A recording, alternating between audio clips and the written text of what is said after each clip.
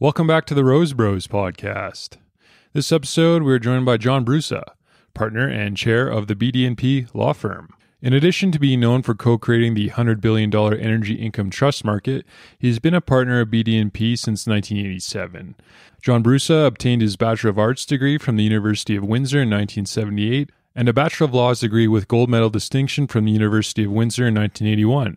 He articled with BD&P was admitted to the Law Society of Alberta in June of 1982. He is also a board member of numerous companies, including Cardinal Energy, Crew Energy, Crown Capital Partners, Coelacanth Energy, and Titanium Corporation. John also contributes his time to many organizations, including the Haskayne School of Business, Calgarians Committed to Change Cabinet, the Resolve Campaign, and the Calgary Homeless Foundation.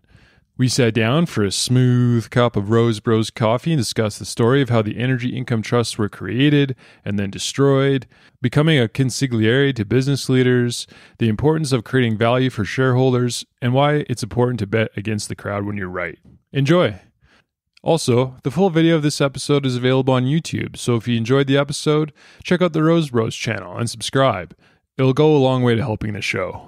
Also, this week's podcast is brought to you by Rundle Eco Services. Looking for a way to recycle your frac pond and pit liners used in the energy industry? Rundle collects and processes liners using an environmentally friendly system, leaving a clean environmental footprint. The end use of these liners are shredded and processed into pellets that can be used and extruded into various forms of usable plastic products, including furniture, various building materials, and industrial packaging. Check out rundleco.com for more details on how you can recycle your industrial pond and pit liners today.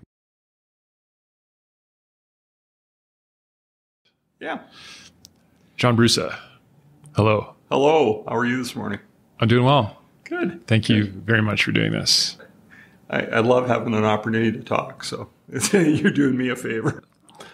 Officially, you are the chairman and partner of BD&P Law Firm. You Mm-hmm. are an advisor to many companies. You're also a big donor and charity. How would you describe yourself?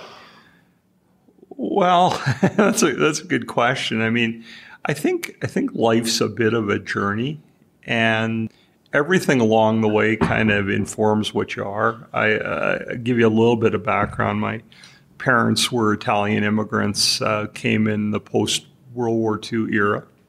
And uh, they actually went back and forth a couple of times. My dad did, and I was. My mother came back for the final time pregnant with me, so I'm a.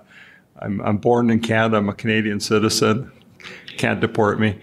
But my parents were were both Italians. I had two older siblings who were also uh, born in Italy, and so yeah, my dad was a, a working class guy. He was a construction laborer, and uh, like a lot of immigrants you know, you leave your home probably not necessarily for yourself, but to make sure your kids have better opportunities. And my dad was all about that. He was, he really encouraged me to go to school and and, uh, and all of that. And uh, yeah, and so I went to undergrad Windsor. I kind of bounced around between the math program and economics, and finally got a history degree. And then woke up one day and said, "What the hell am I going to do with that?" So I went to law school.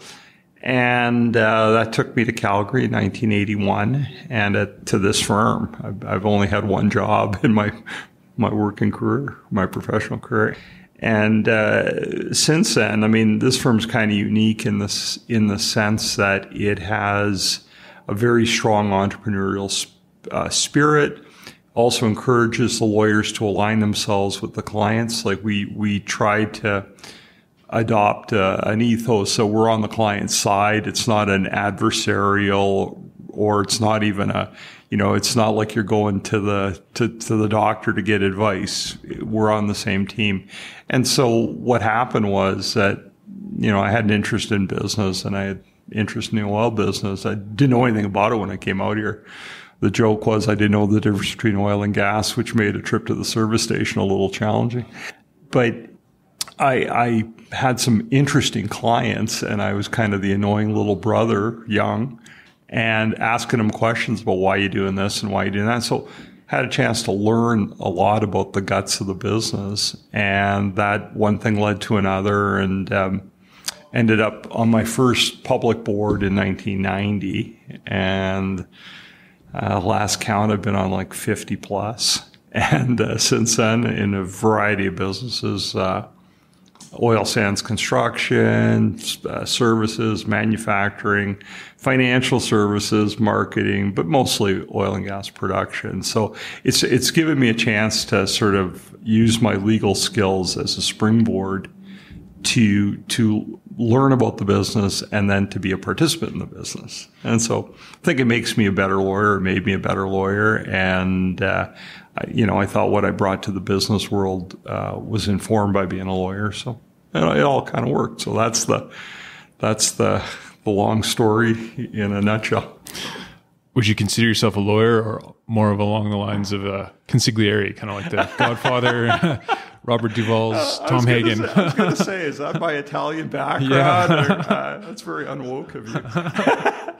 But uh, yeah, no, I think that's right. I think I am, uh, when I sit on boards, you know, people say, well, do you give a lot of free legal advice? And the truth is, I give very little. It's more, it's more, yeah, business advice. Sometimes it's personal advice. Sometimes people are going through divorces. Sometimes people, you know, who are business associates who have become friends, have kid issues and all the rest of it. So yeah, consigliere is, is not a bad, is not a bad description. I hadn't thought about it, but it's pretty good. Has anyone ever asked you that? Actually, someone actually did tell me that. says, you're my consigliere. I just hadn't really thought about it. Um, you know, what I really think about, I, like what I try to do is in business, you know, when you have a partnership, it should have the best elements of being a good friend. And, and, you know, the best elements of a good friend is they'll tell you when you're wrong. They support you when you're having a hard time. Uh, they don't take advantage of you. So, so I've always tried to, to have that as the standard of of how I conduct myself in business. I mean, there's been some points where that was difficult because sometimes that runs up against your fiduciary duty as a director. Like, you know, say when the company's not performing and you got to fire the CEO. That is really tough. But in the end, you know, you've got to say, hey, my higher duty is to the shareholders. Yeah, I've tried to be a friend, and um, but but a friend also tells you when it's time to go. You know, it's kind of like uh, you know your best friends in an abusive relationship. Time to tell them to go. So, so yeah, no, that's that's what I've tried to do. You do it all the time. No, but you know what's what's uh, Shakespeare said: "If man's reach is not to exceed his grasp, then what are dreams for?" Yeah. So that's what you try to do. you were the co-creator of the Energy Income Trusts. Mm-hmm. What were the Energy Income Trusts? Well, what, what, you have to look at it in the context of what was happening in the business at the time. So, if you think about Western Canada in the late 40s, when Leduc, you know, the gusher at Leduc, it was a, a, very underexplored basin, and a bunch of discoveries made through the 50s, 60s, 70s, early 80s. But but the targets were getting smaller and smaller and the bigger companies who dominated the basin were saying this isn't really worth our while anymore. And uh, you also have to look at so so that's what happens on the macro level. Then you have to look at particular properties. Like particular properties go through a life cycle. The early part of their life cycle, they require more capital than than the cash flow they throw off. And during the latter part of their life cycle, it's the opposite and if you keep throwing capital at an asset which is physically mature, you, you bump straight forward into the law of diminishing returns, right? And so that's what was happening. So you had big players exiting the basin. You had more and more of the properties were very mature. This was, you know, this was before the unconventional aspect of, of the basin. So, so you know, the basin was kind of, if you looked at it from the early to mid 80s forward, if you're looking forward from that time, you'd say, this is a very mature basin and we're in harvest mode.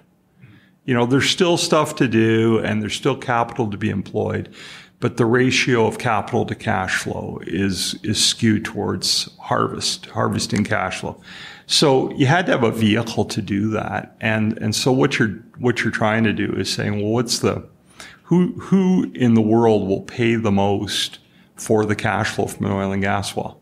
And the truth is, mom and pop general public will, because you were in a, a very low in, a low interest rate, low and dropping interest rate environment. You had lots of people that were on fixed income and they were saying, "Oh my God, you know, how can I live on two percent GICs or three percent or four percent GICs when they'd been used to eight or nine or ten percent, right?" So, so, so it was just a bunch of factors that came together. It was big guys exiting the basin. They wanted to sell out. They wanted to sell their properties, particularly the mature stuff. It was the mature stuff was starting to become more and more of what was going on in, in this basin.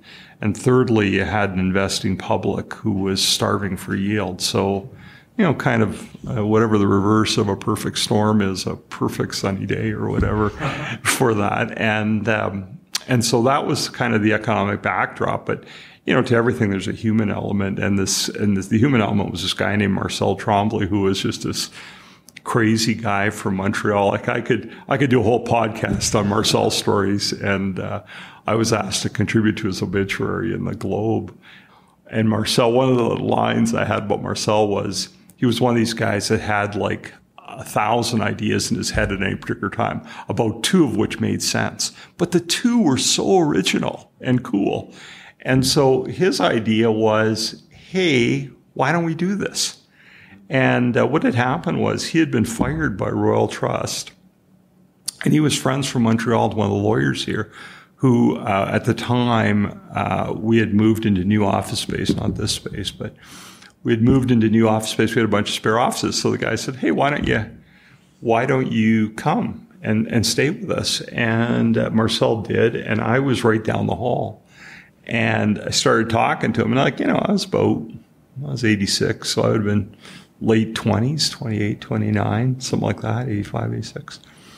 And, uh, and this idea sort of took shape. And I always say, really was Marcel's idea. I helped structure it in a way that was RSP eligible and all this other stuff, and it kind of worked from the tax side.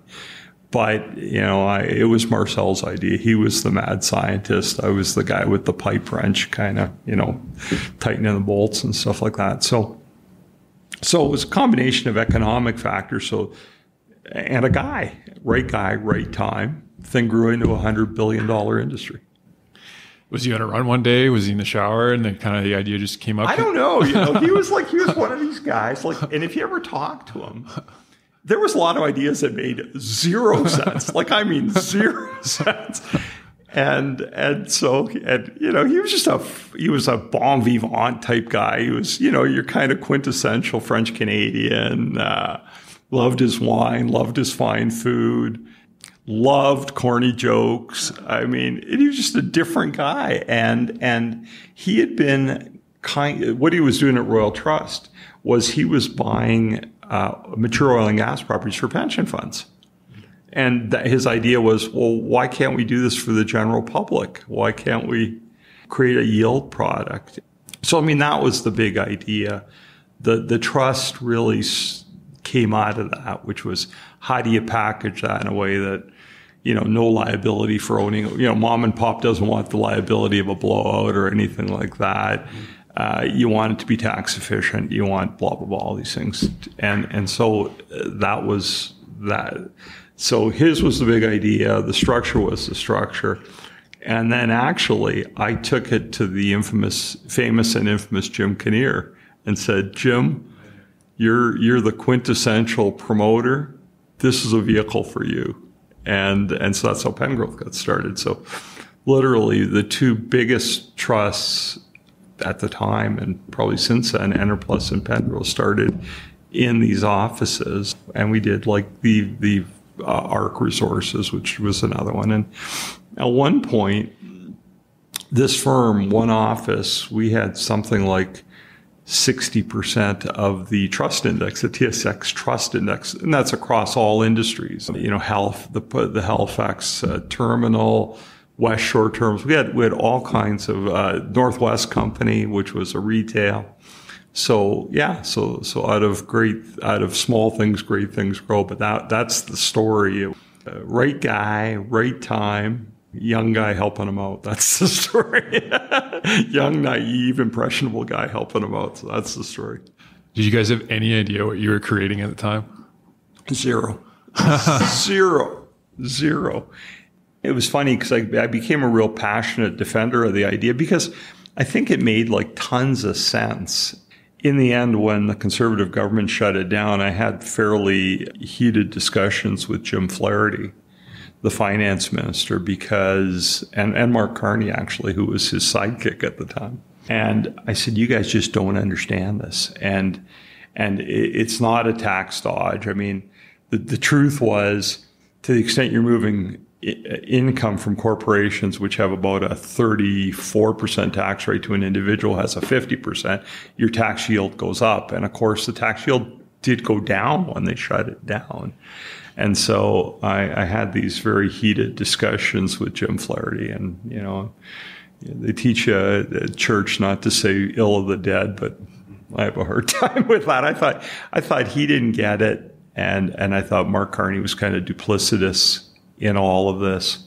And there was a bunch of people in the background who were arguing, you know, were whispering in their ears and uh, saying this is terrible for Canada. And the truth was, it was it was very good for Canada. It repatriated a lot of assets out of foreign hands. It created tons of jobs, and so it was just one of those. It's kind of a there is there there was a bit of a tragedy to it that that something that was a sort of a made in Canada thing created so much value and so much wealth and so much income, you know, for, for a lot of these mom and pop pensioners. They relied on this stuff. You know, for the government to shut it down was kind of crazy. There was excesses, but the market would have sorted them out. There was good trust, bad trust. Market would have sorted that out. So, like one of the little, you know, I don't. I'm generally not a screamer, but uh, one of the things my, my voice was kind of raising with Flaherty was saying, you know, for a conservative government, you're not letting the market sort this out. They're, you know, it's it's a good idea, but like everything, there's good aspects and bad. You know, there's good players and bad luck players, and the market eventually sorts that out. And I said, you know, you guys are taking a very paternalistic view of shutting this all down on the basis of, I think, faulty yeah, in the end, he didn't like me. He was. I usually leaven my stuff with a sense of humor, so I, I try not to be offensive. But I think in the end, he really didn't like me at all. For anyone that is listening, the Energy Income Trust basically allowed companies to pass on all their money to shareholders tax free instead of being taxed by the government. No, no, that was the big misconception. What happened was it it it transferred the tax liability from the company to the recipient. And that was all it did. And because the recipient had a higher tax rate than the payer, it was actually, it produced more money for government. And, you know, uh, there was, uh, there's a guy who at the time was an analyst with BMO, Gord Tait, who actually filed a, um, an access information request to get the calculations because it had been it had been uh, shut down on the basis that it was a tax dodge. And so he did an access to information and he got like 27 blank pages or something. And, and the truth was they had done no, they had done no background or anything on this. And, and, and truly the, the tax was never an issue for them. It was really because they were concerned that as more of the economy get, got held by these trusts, capital investment would collapse, not in the oil and gas sector. I had private conversations with the bureaucrats and they said we were never worried about the oil and gas trust. We were worried about telecom and, and some of these other tech industries that if they were forced to pay out all their cash flow, they wouldn't be reinvesting and productivity would collapse and all the rest of it. I mean, you know, Canada has a terrible rate of productivity anyway now, so I, I guess they were they were wrong and right, I guess. But but yeah, no, it was uh, that was the real reason that they they they did it. wasn't because it was costing them any money. They they came up with this tortured analysis of some four hundred million dollars of tax revenue. Well, four hundred million of tax revenue is like 0.2 percent of the you know you're, you're shutting down a hundred billion dollar industry for 0.2 of a percent of your of your annual tax take. And even the 500 million was wrong. The only way they could get it was they would assume that money trapped in RSPs would never be taxed, which is kind of ridiculous because if you look at uh, RSPs um, in Canada, at least at the time, I haven't looked at the recent statistics, but they pay out quite a bit. Like people take money out of their RSPs to live. And, and when you take money your RSP, it's taxed. And, you know, so if they'd done a real honest calculation, they would have seen that income trusts were tax positive. They couldn't do that because they had to come up with a rationale that, that John Q. Public would accept, which is the trust sector are a bunch of t- tax cheats. And it wasn't true. And, and they knew it wasn't true. And so they did it for another reason. And, you know, whether that reason is stands up to stands up to scrutiny, yeah, it's 15 years later, who knows? But um, it, it was it was kind of a it was a very cynical thing, and it was kind of maddening. It was a great idea. It grew into a large market. Investors made a ton of money. It really supported the local, well, the national economy. But then, October 31st, 2006, Oh. the Halloween Massacre. Right. What was the Halloween Massacre? Halloween Massacre was on October 31st. Jim Flaherty, after the markets closed, got up and said, "We're closing down income trusts." There's quite a backstory there, which I can't I can't fully reveal, but uh, I was advising on a rather large conversion of a corporation to a trust at the time, and we were sitting there doing the legal the paperwork to announce it probably two weeks later. Probably the biggest would have been one of the biggest, and you know there was other trusts being contemplated. Uh, BC was going to was going to convert, and so it was a it was kind of an overheated time. B- bizarrely, uh, Harper had campaigned. You know, he'd been elected what about 12, 18 months before, campaigned on a on a platform of leaving the trust alone. That was kind of weird. So cynical times. They ended the trust that day. And well, they gave a transition period, but it was yeah, it was the end. It was the end. The market opened the next day. The trusts were trading 15 to 20 percent down. I think I read about thirty billion dollars were erased. Yeah, was that's erased. about right. It was about a hundred billion dollar, and 30 billion dollars was destroyed overnight. And that's why when I say the 500 million dollars a year, which is the wrong number, was you know like talk about using a sledgehammer to kill a flea. Do you remember what you were doing? What you found out about that? I was in that boardroom. I was advising the company. I was I was brought in as a special consultant on the trust conversion. So I was there. and you read it on like the Yeah, news. someone walked in and uh, uh, somebody walked in and says, "Have you seen this?" And and you know we couldn't believe it. You know it was just a um, you just couldn't believe that they had done this, especially after how they'd campaigned. So critic in the public would say, "How could you have not known this was coming?" Well, you, you didn't know because they had campaigned that they weren't going to shut down the trust. And so, you know, you were fairly, you know, you thought, well, literally they had it been part of their platform that, that the liberals were going to kill the trust and we were going to save the trust because we were going to save the trust. So, you know, it wasn't crazy. It wasn't crazy to think that. You had no idea this announcement was coming. Uh, no, I, I I thought there might be some change to it, like maybe um, maybe some kind of a little tax change of sorts. But I, the the idea of shutting down a hundred billion dollar uh, industry, uh, I mean, you know, Canada's not that big a country. Hundred billion dollars, you know, adds up. In hindsight, do you think it was a mistake to shut it down, Oh, absolutely, hundred percent. have you changed your mind? hundred percent was the wrong idea. And you know, if you if if if the people involved were honest today, they would probably admit that they should have been more selective.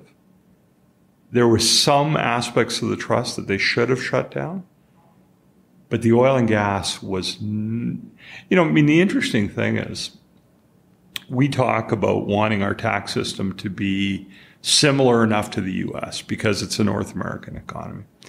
And the US, what they did in 1987, so that's uh, 13, that's uh, 20 years before almost, they had shut down their version of the trust and they had exempted oil and gas in the States. Their version of the trust was something called the Master Limited Partnership. Don't those still exist in the US? Oh, sure. Yeah. Yeah. And Yeah. in real estate in Canada. Yeah, yeah. So they had uh, they had shut it down, and it was was actually interesting. It was kind of for the same reasons to say that there were some businesses that were not appropriate for the trust structure, and uh, but but oil and gas and pipelines and things like that were because they're they're. I mean, especially uh, you know, I mean, the idea behind uh, the, the trust structure is it works as a way to prevent capital from being wasted because you're you're not spending capital on a very mature asset, and so you're just you know it, economically it's it's what you should do, and uh, in the U.S. they figured that out, and in Canada uh, for an, a bunch of reasons, which are sort of political skullduggery, which I won't go into. They decided to use a broad brush and they shut them all down except for real estate trusts. Which doesn't make any sense. Doesn't make any sense. And um, there, you know, there there are a lot of rumors as to why that happened, and it um, involved a lot of you know some political skullduggery. Wow. So.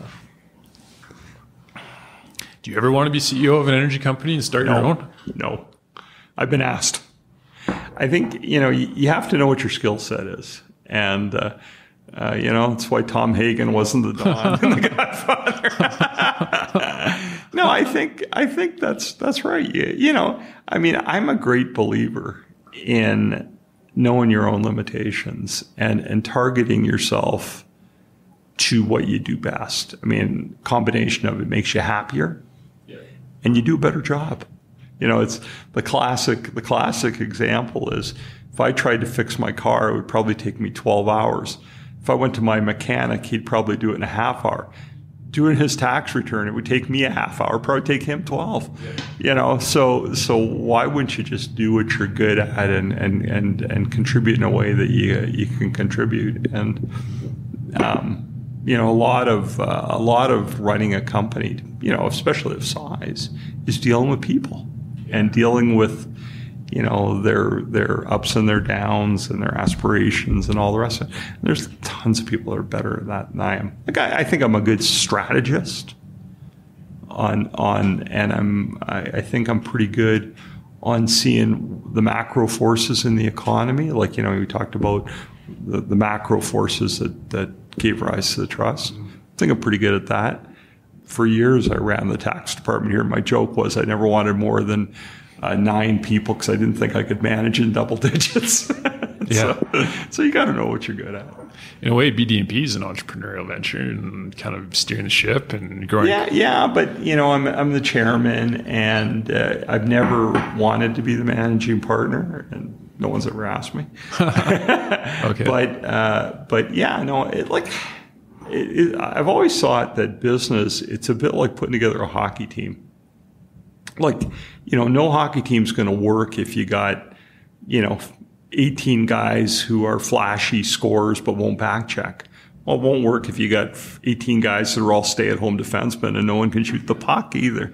So, like the key to all this is is you know shoring up your own personal weaknesses by having the right people around you. And that's that's kind of I, I've sort of done that at BDP. I've done it in creating a tax department. Uh, I've, I've done it in business where you you you try to put people together that you know there's there's two aspects of it. One is they have complementary skills and then they respect each other because you don't want people like like there are there are some I've met in business who you know let's I'll just give you an example. Say they're an engineer, well they don't have any respect for an accountant or they don't have any respect for the corporate lawyer because they say, "Wow, geez, you know that's that's irrelevant." Or you know, the, one of the old oil patch, uh, uh, um, I don't know, not jokes, but sayings is, you know, the geologist going up to the uh, the company accountant saying, "How many barrels of oil did you find today?" Well, it's wrong question, right? Right. It's not not the right way to look at it. Not the right way to look yeah, at it. for sure. Right now, it's about hundred dollar oil. Natural gas is five six dollars. Yeah. So prices are great. Yeah. Do you see the collective ego of downtown rise in a scenario like this? Yeah. yeah, it's it's yeah, people are uh, that's a good question.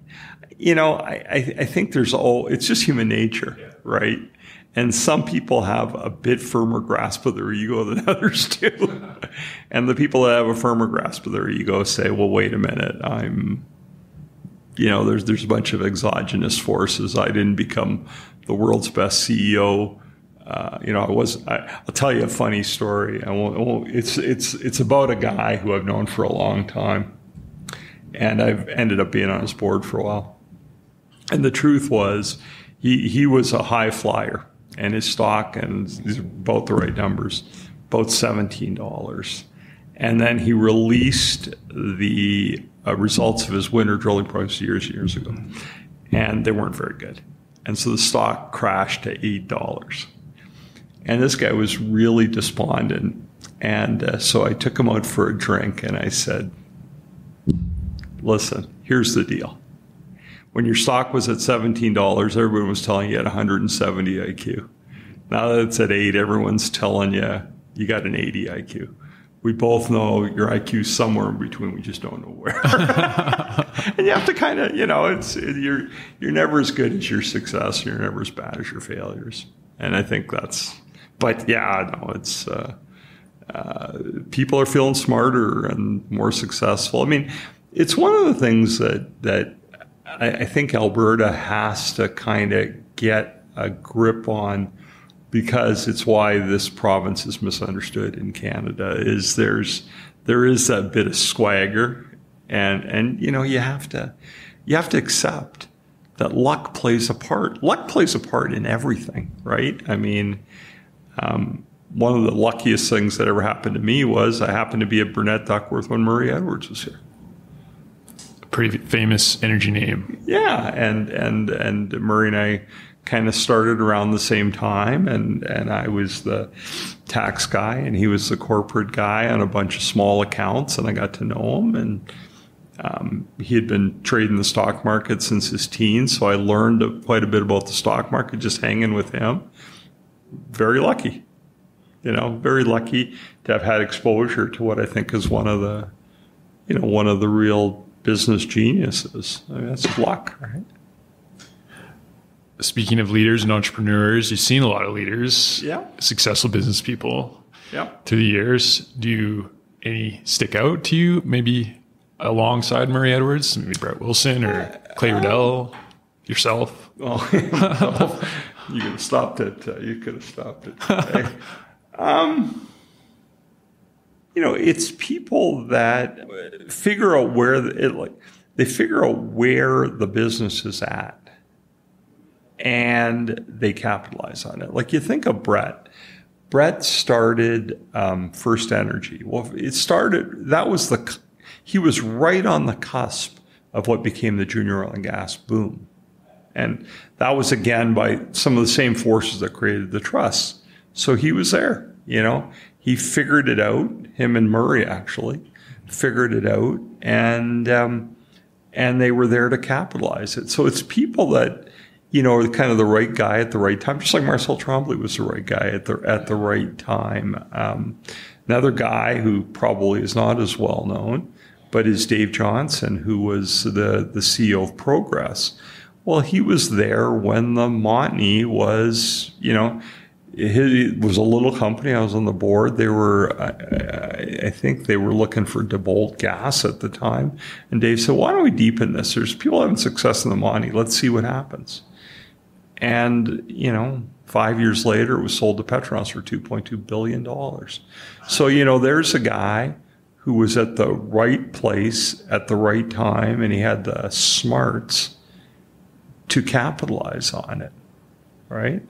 Um, you know, the, the, the, um, what's going on now? The Clearwater, you know, that's a big play in Western Canada. Well, guy like Clayton Woitas, Ian Curry, you know, a couple guys that were conventional guys, and they saw this potential for doing something a little different on the conventional reservoir.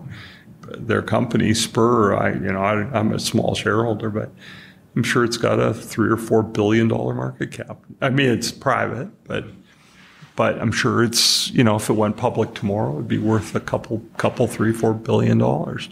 Right guy, right time. Sometimes you got the right guy and it's the wrong time. And and and the other thing that that sort of the the flip side of that is guys that chase the same model but don't realize times have changed. And there's a lot of those people who kind of and I won't go into the, the details of why what made the junior oil and gas model work. But then times changed. It became times fully changed, and some guys chased the same chased the same model and became the, the, the fly on the windshield, you know. That sort of thing, the bug on the windshield. So, you know, I, I think I think there are people that were the right guys at the right time and they realized it and they and they capitalized it and and you know Edwards right there, um, Clayton Woitas right there, Dave Johnson right there, Brad uh, Marcel Tremblay right there. Um, you know, I'd have to I'd have to think about it, but but yeah, guys that were kind of visionaries. How important do you think it is to go against the grain? I've read that that's one of the things that makes Murray Edwards really successful. Is he like buying up oil sands a few years ago? Yeah. Well, I think it's very important, but it's not just going against the grain. Like going against the grain is a principle. Is kind of it's almost could easy. be smart, could yeah, be stupid, yeah, right? exactly. Um, but it's sometimes you have to you have to cut through the prevailing wisdom to see if it has logical consistency. So you know, I mean, I, I remember a conversation I had Mur- with Murray over lunch uh, a few years ago, and we were talking about um, you know climate change and all the rest of it.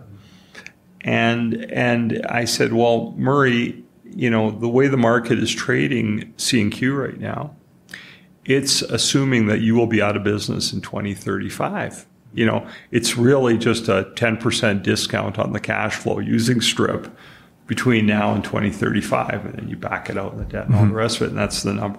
Not that I'm brilliant enough to figure that out. I saw that research report, but but anyway, he looks at me. He says, "You think we're going to be out of business in 2035?" I said, "No, I don't think so." He said, "Well."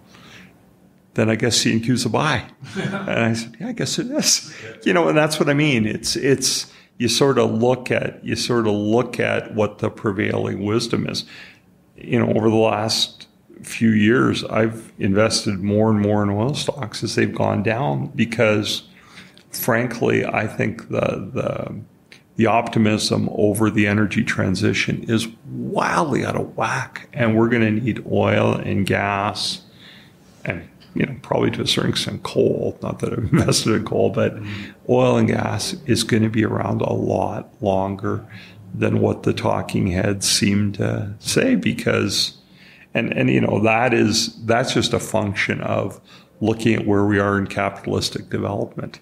You know you you uh, I won't bore you with that but but basically capitalism is is is a movement forward and it's always predicated on growth. And the reason that growth has to happen is because at any particular time the system is full of IOUs that can't be paid back unless things grow. So, you know, the best example is you think about a biotech company that raises $10 billion and invests it in research. Well, if they find nothing, those shares are worthless. And so you're always, always has to grow. And if it doesn't grow, it collapses. It truly can't stand still.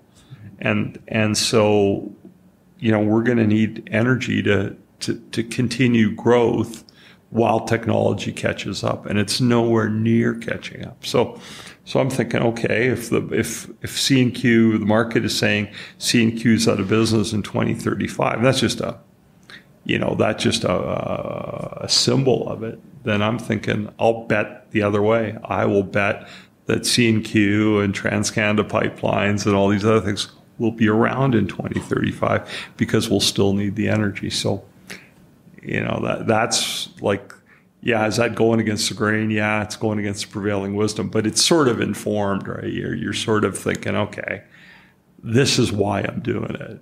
You know, you don't want to just jump off a cliff. it's easy to be the contrarian in a certain regard, but it's also it's hard to be the contrarian and be hard right. be, psychologically, it's really hard to be a contrarian. To be right, yeah. Yeah, Homo sapiens aren't wired that way. Yeah, yeah, yeah. So it's and that's why guys that are contrarians, um, you know, they have that sort of a mental strength to be a contrarian to say, yeah, you and everybody else says it's left. I'm going to say it's right and that takes a lot of that takes a lot of guts, right?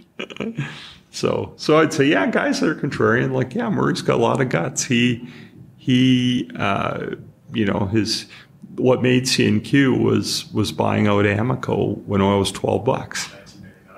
Yeah, yeah, that made CNQ. I mean, wasn't the only thing, but it made CNQ. And that took a lot of guts, you know. The uh, the Economist had five dollar oil on its cover, and yeah. and so you have to look at that and say, is five dollar oil in 1999 a reasonable assumption? Murray would say no. Okay, well then I'm going to buy this stuff. is CNQ shutting down in 2035? Is that a reasonable assumption? No. Well, I'm going to buy this stuff. So anyway, kind of like the uncommon common sense it's sort of trying to look beyond the noise. I mean, that's the problem, right? We've got, it's like the news is going 24 hours a day and there's lots of noise and there's lots of outlets and there's, you know, there's the prevailing view. Problem with the prevailing view is the prevailing view from a trading strategy is ultimately everybody piles onto the prevailing view and the trade gets crowded. And it has, that's the seeds of its own destruction, right? Warren Buffett's buying energy. Yeah, no, exactly. I, am a I'm a Warren Buffett disciple. Really? Oh yeah. Me too. I, I read his book and it makes sense to me. That's awesome. Yeah, no, it's um, you know, I mean, he's all about companies that produce cash. Yeah. And what's really f- interesting right now on the way the oil industry, I'm not saying it'll continue this way, but the way the oil industry ran itself for the last 20 years, I would analogize it to a store. So the store sells a certain amount of its product, takes the revenue from that product, and borrows a bunch more money to fill a warehouse. Growth. Yeah, growth. With no idea what the what what that product in the warehouse is going to be sold for. And and the timing and anything like that. And so who would want to invest? You know, if you look at Buffett, he'd say, why would I invest in something like that? Makes no sense. So now with this whole free cash flow model, the oil and gas companies are, are looking at it and saying, okay, we're going to sell a, a, an amount and we're going to take the portion of the revenue we get to restock our shelves. And then the rest is profit. And so that's why you have people like generalist investors starting to, to, to pay attention to the sector because the sector stopped being crazy. Hmm. And when you think about that store analogy, yeah. it's crazy. Yeah. It's crazy. Who would run a store like that, you know? Yeah, like I'm going to sure. take my revenue and uh, I'm not going to pay my owners. I'm going to build a warehouse and fill it with stuff that I don't know when I can sell and at what price. Yeah, yeah. So, so who would want to invest in a store like that? you know, so so it's like we're we're we're it, the oil and gas industry. I mean, it's funny. People are saying, "Wow, they're not reinvesting," and blah blah blah blah blah. The truth is, they've stopped being stupid.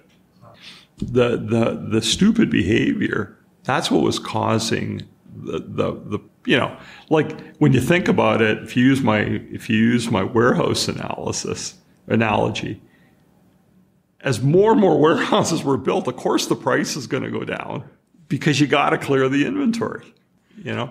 And so by the industry building more and more warehouses, we were, had the seeds of its own demise. Well, now by not building the warehouses and just restocking the shelves, you know, it's going to probably guarantee uh, you know higher prices.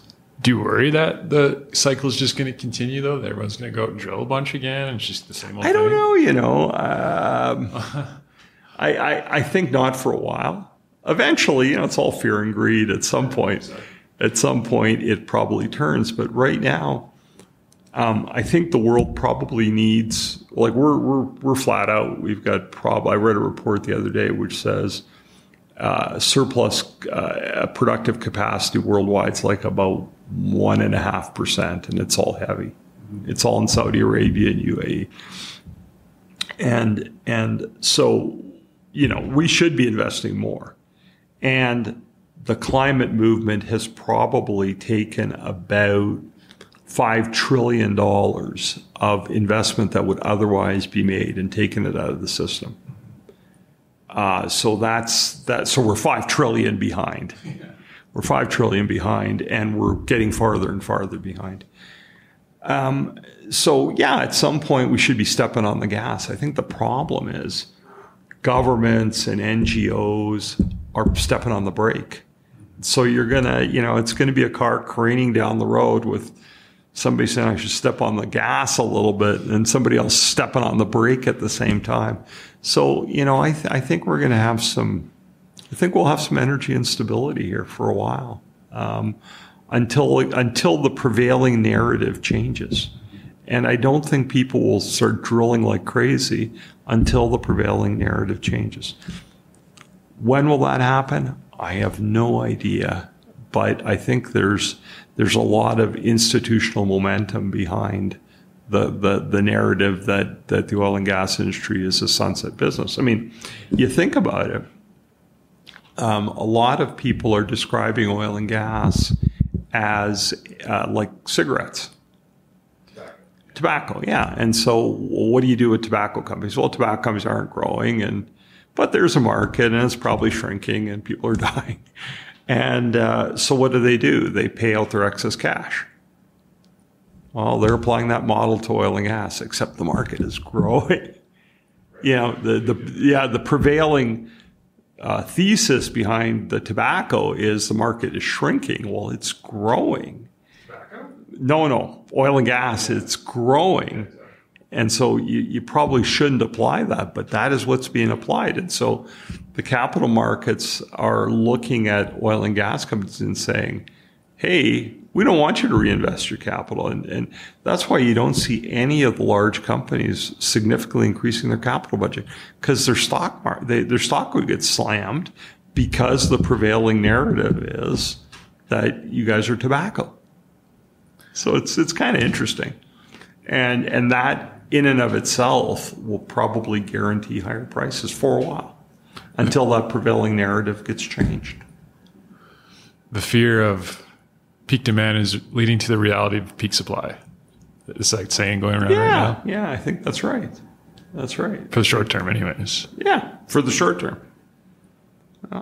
Yeah, I mean, you know, it's funny. My uh, my daughter said to me, she's like thirty, and she said, "I'm really worried about Calgary being a ghost town." And I said, "I said, sweetheart, when we see solar powered planes in the sky, that's when I'll start to worry." you know, oil and oil and, and, natural gas is ubiquitous. It's not just transportation fuel. It's plastics. It's fertilizer. It's medicine. It's it's like it's like a lot of stuff that we use every day, and it's not going anywhere. There's no real substitutes for it. Uh, transportation is only like thirty percent of the uh, petroleum yeah market. Yeah, and so so let's assume that you you take a third of that and electrify it. Well, a third of that, the electricity grid, you'd have to power a bunch of it by natural gas. But even that, you know, it doesn't really take take demand that far down. So, well, these are interesting times. I mean, I'm glad I'm alive to see it. It's an inflection point in the industry. And um, you know, it's it's kind of a weird uh, inflection point in human history because if you look at um, if you look at say th- uh, let's say 5000 years ago okay fine that's not that's a blink of an eye yeah, sure. in time 5,000 years ago, over 95% of the energy that was produced was used to produce the energy. Yes. Food, right? So 95% of what was produced went into producing the, the 95%. So now, what do we have? Well, I, I don't know the number, but it's under 10. Yeah. 10% of the energy that is produced goes into producing the energy, and it's probably a lot less. And that other 90% fuels everything else. And that's why human progress has. And so if you look at renewables, renewables start pushing the percentage of energy that's produced to produce the energy higher. And, and so every time that has been higher, human progress has gone backwards. And so it's it's really interesting. It's a really interesting time. I'm, uh, you know, it's like that's the beauty of human history. It's like the um, Mark Twain said said history doesn't repeat itself, but it does rhyme. And so that's that's kind of cool. What's going on now? You've seen a lot of deals over the year. Like we're saying, maybe Murray Edwards buying Oil Sands in 1999. Have you seen any that any that have really created the most amount of wealth and built up the biggest companies? Any deals? You've seen tons of deals. Um, well, what creates the most value is where you hit things at inflection points, right? And uh, so, like for example, um, for example, uh, uh, Progress being one of the first movers in the Montney created huge value.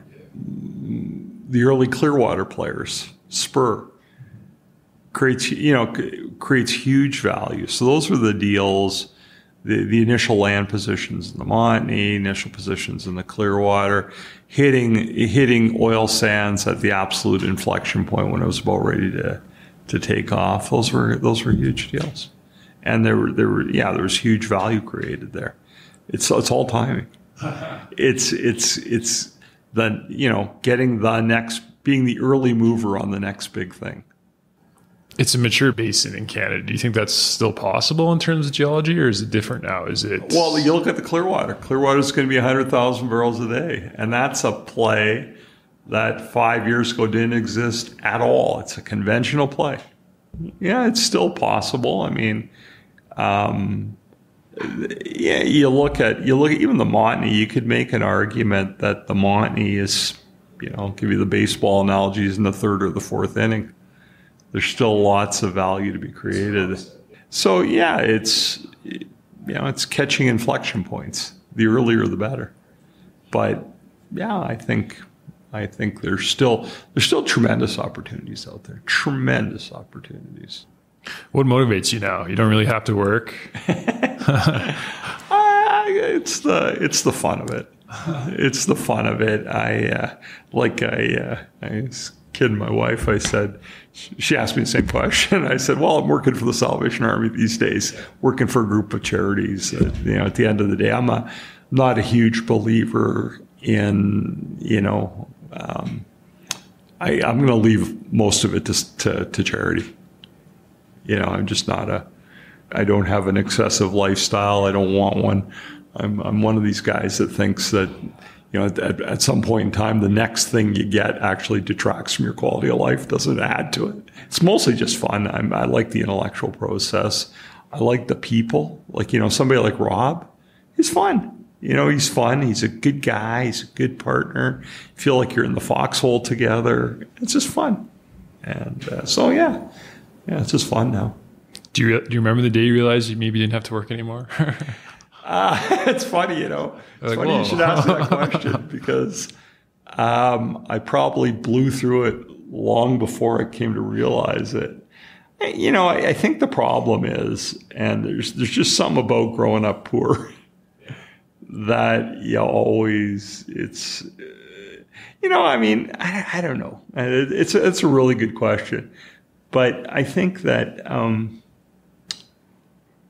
I think it's probably the point where I realized that work was not about financial security. It was more about identity. yeah. Yeah. Yeah. You know, when you, like, you know, I got my first job when I was 14. I was delivering prescriptions on my bike. So I've kind of been at it ever since. And um, it's just your identity, just what you do. You know, I, I think if I had uh, grown up as, uh, you know, Prince Charles's kid or whatever, you, or Queen Elizabeth's kid, you, you maybe get a better, a different sense of it. But mm-hmm. just, just working and being productive and doing something just been always been part of my life now you get to pick who you work with, kind of yeah, the companies exactly. you get that's involved the with. difference. Yeah, that's the difference. Yeah, you you have to do less of the stuff you don't want to do, yeah. and more of the stuff you do want to do. That's the biggest difference. Would you say that's how you pick your projects now? Is kind of just the people yeah, side of things? Very, very much so. It's it's a combination of the project having interest to me and the people. Do you think hundred dollar oil is here to stay?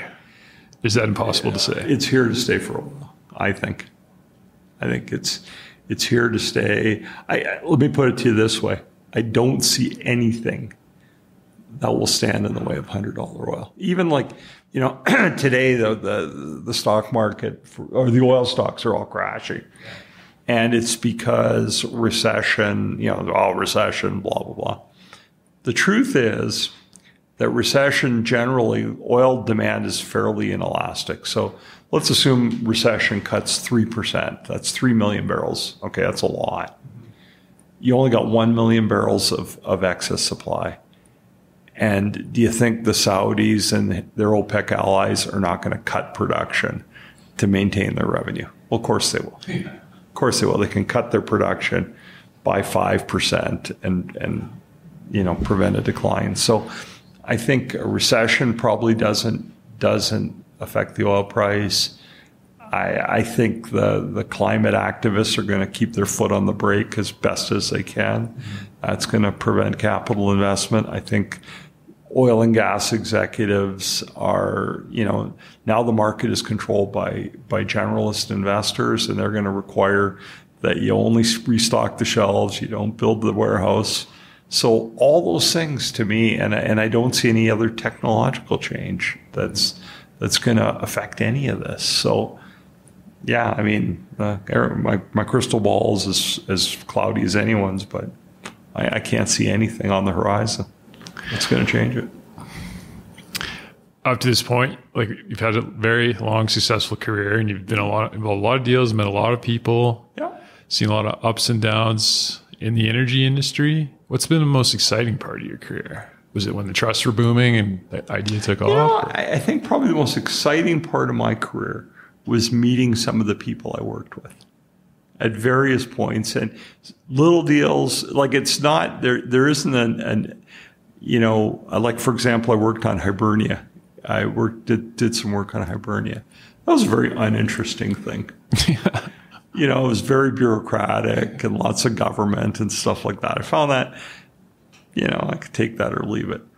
Uh, working with a guy like my Marcel Tremblay, you know, kind of a crazy guy. Yeah. And interesting as all hell uh, for a, I mean, you know, yeah, I mean, I could tell you Marcel's stories. but, but it's meeting some of these characters. Like you meet, like the oil and gas industry, there are just a lot of interesting, interesting yeah. characters and uh, and uh, like lots of nice people. They've been, you know, I came out here in 1981, knew no one, lived in Forest Lawn with two guys from uh, Canadian Forces Base Calgary, two medics from New Brunswick, one medic's girlfriend, and a guy I'd met in law school. Five of us living in a four bedroom house in Forest Lawn next to a biker gang near the Max Bell Arena. so you start there and and people have been very generous. You know, like meeting guys like Harley Hotchkiss, classic class class guy. My partner Jim Palmer here, one of the great legal entrepreneurs ever. Um, I've met some political people that are really kind of cool and interesting, like Paul Martin not not very well thought of as a prime minister, but a you know really smart, funny guy. Um, J.C. Anderson, Anderson Exploration, you know, late J.C. Anderson. I mean, yeah, well, I was we were reminiscing about him with someone who knew him the other day, and one of uh, JC's lines, which typified him, was he said, John, he said, life's like a dog sled race. If you ain't the lead dog, the scenery never changes. so I just met some cool people, you know, and uh, Al Markin, there's another guy, cool, cool guy. And, uh, yeah, so just, just met a lot of cool people. And, uh, and, uh, you know, people that don't take themselves like, like really smart, accomplished people that don't take themselves super seriously. I, I just, that's what I like. And so I'd say that's been much more significant to me than the dollar numbers that I've worked on. Like I said, some of the funnest deals were the smallest dollar amounts, some of the most tedious things were some of the biggest. well, not just that. Sometimes things are, yeah, again, you have to know yourself. I, I, I, um, like I'm very bad at very long meetings. I, my mind wanders and and I don't find them very. I like things saying, "Here's the problem. We're going to do X, Y, and Z. Let's go." Like that. That's more fun for me. The the you know the twenty person meeting that drags on for seven hours. That's less fun for me. What advice would you give to a young lawyer or entrepreneur nowadays, starting out in energy in Canada or in general? Um, well, you know, one of the things I do is I um, I mentor at Haskayne. I, I mentor at CCAL, and I was the Yaroslavsky Fellow at uh, at Haskayne for a couple of years as well. And uh, so it's allowed me to have lots of access to people like yourself. And you know what I what I generally tell people is do what you're interested in and surround yourself with people that you like and who compliment you. And and I think those are the keys to to success. And I guess the third aspect of it is keep your eye on the big picture because a lot of times, you know, what happens to us is much less a function of how good we are at what we do and more a function of where we are in the scheme of things. And uh, you know, I mean, I it, it's funny like around here when business is booming, you know, when the economy is booming, people think they're smarter than they are. Yeah. And when it is not, they think they're dumber than they are. Hmm. And I said, you know, kind of get a grip on yourself. A, lot of it is exogenous factors. Yeah. So. Or uh, in the words Nassim Taleb, it's a lot easier to give advice, but it's better to tell people what not to do. exactly. 100%. 100%. What would you say not to do? Well, I mean, for me, the, the worst experiences I've ever had in business is when I picked the wrong partners. So um, don't be uh, don't be dazzled by the shiny object. Um, you know, it's yeah, yeah. I mean, sometimes people that are, uh, you know, the, the, the, there's almost a direct correlation between people that are flashy and uh, people that'll get you in trouble because they're more style than substance. So I mean, yeah, advice is don't get don't don't blur the distinction between style and substance. Substance wins the day long term. Do you go to the Berkshire meeting? I have never been to the Berkshire meeting, although I do read I read his messages yeah. religiously. The one I just love is the one about gold.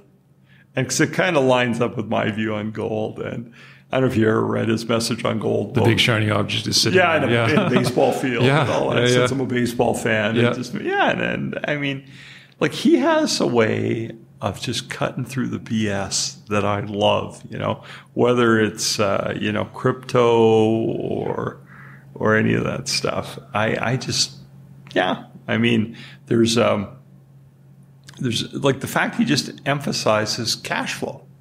He emphasizes. I mean, there's a a story, a famous uh, famous uh, lawyer, famous trial lawyer, Clarence Darrow, who defended the school teacher in the Scopes trial. But anyway, he he paid the bills by doing defense work for rich people from time to time, and. Uh, and so he had gotten this socialite off on a murder charge, which he had apparently done And so she was very dramatic and she was gushing over him after the trial. Says, Oh, Mr. Darrow, Mr. Darrow. He says, How can I ever thank you? And he looks at her and says, Madam, since the Phoenicians invented money 9,000 years ago, there really is only one way. Cash So, yeah, cash, right? so I kind of, I kind of like that, you know. And, and don't, yeah, don't get, don't get fooled by the shiny object. He, Warren Buffett is very retail oriented. Also, like he releases all the reports on Saturdays just so the retail can read them and Yeah. whatnot. Yeah. Kind of like doing this. It's uh, this is about as retail as it gets when you're talking to people. and and I, you know, I don't, I, I, you know, I got my theories right, and I, hopefully they're down to earth, and and at the end of the day, like so much of investing is is really just getting getting beyond the hype, right? And it's, you know, like if you, I, I, you know, you're too young, but the the dot com boom you sort of looked at some of these valuations and you said, okay, well, these people are, you know, this valuation is only justified if you have 100% growth for 50 years. yeah. By that point, you've covered the world in whatever this product is several times over. How can you? How can how can that be? Mm-hmm. And you know, there's there's the emperor has no clothes quality to all of this, and so you have to really ask yourself, saying, what's the premise that I'm buying this stock over? Like, you know, when I when I buy buy stocks, and I, I do, you know, I'm I'm probably that's one of my fun things to do is I always have a theory. I always have a premise. And my premise is never, I'm buying it because it's going up. It always, I always have to say, really, you know, and this is the Warren Buffett aspect of it. I'm owning a fractional interest in this business. Do I want to own this business? And uh, so, uh, yeah, no, I, I like. I'm a I'm a fan of his. It's it's kind of interesting. Um, if you're uh, if you look at at the world now, one of the things that's probably wrong with it is the size of the financial sector in in uh, in proportion to the productive sector. Uh, I think it was J.P. Morgan that said uh, finance is supposed to be the handmaiden of industry, which is yeah, finance is supposed to derive the capital to make stuff and now it's a casino and that's what's really weird about everything that's going on because some things just make no sense and eh, again coming back to your contrarianness it takes it takes some takes some gumption to say hey wait a minute this doesn't make any sense why why is CNQ down to $63 today you know that's a, almost a 5% yield and it's got a 50 year reserve life and blah, blah, blah, blah, blah. And Murray Edwards is a genius. Why, you know, what, why is the market trading this down to a 5% yield? I don't get it. And so you have to ask yourself that. You say, what is, what is the premise behind what this stock's trading at? Both positively and negatively, you know? And if you, if you think the market has kind of got the wrong premise, then you're, then it's time to either buy or sell, or not buy, I guess, or not sell. Speaking of productivity and true entrepreneurs making creating value, Yeah.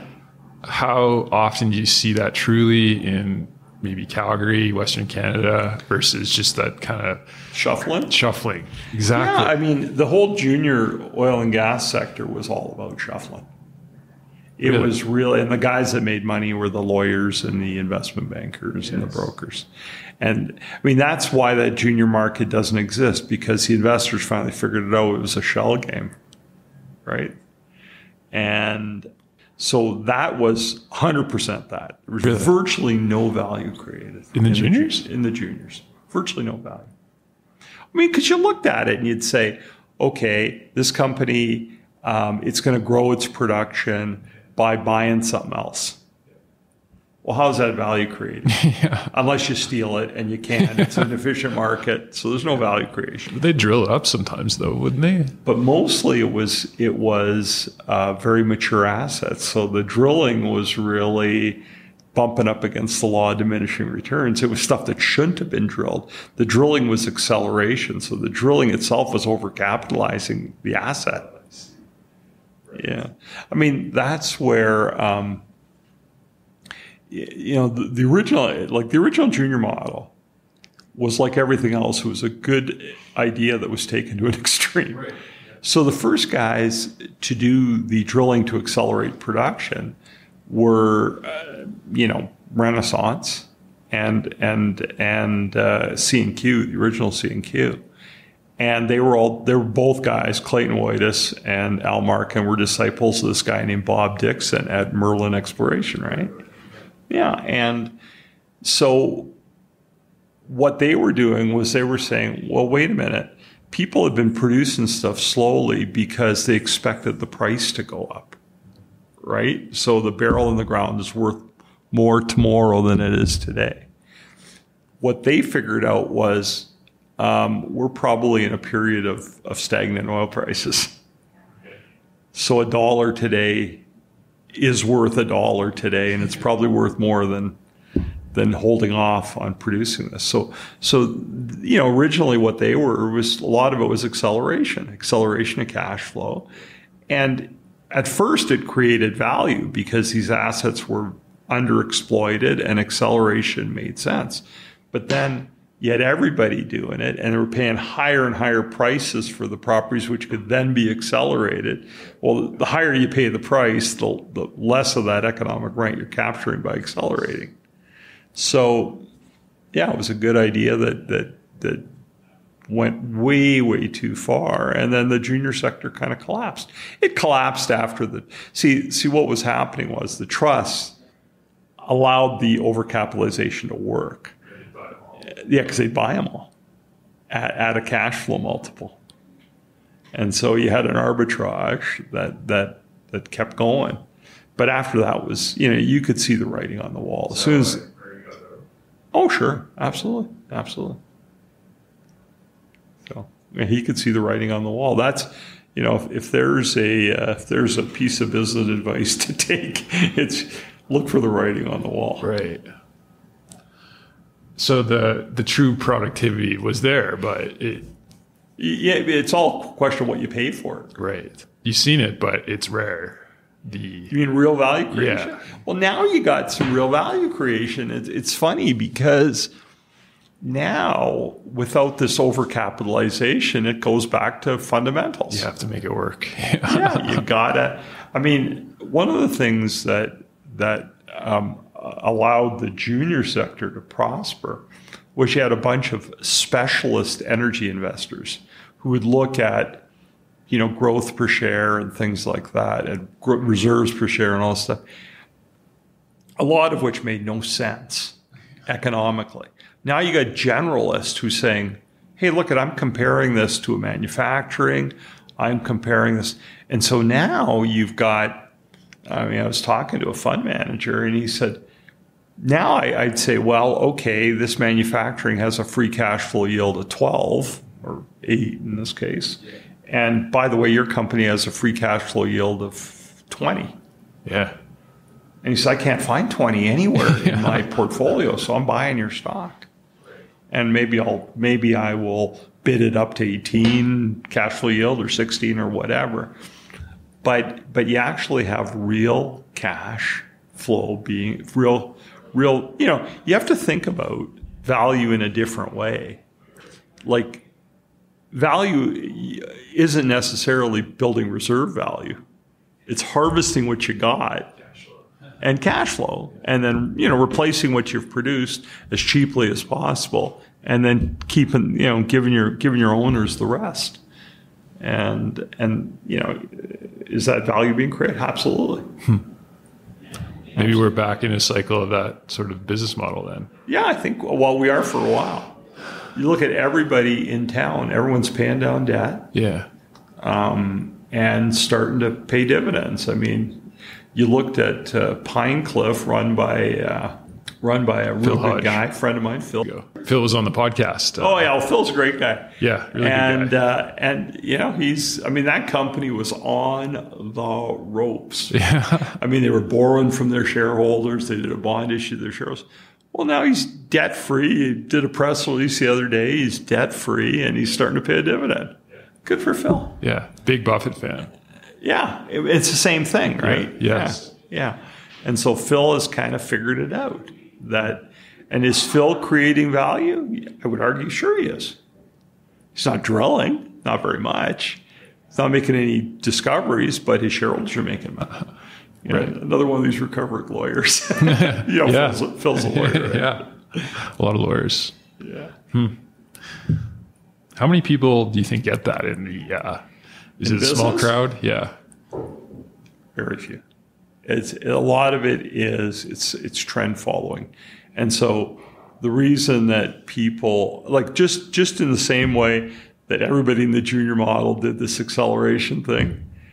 Now the the flavor of the month is this other model, which is the Buffett model.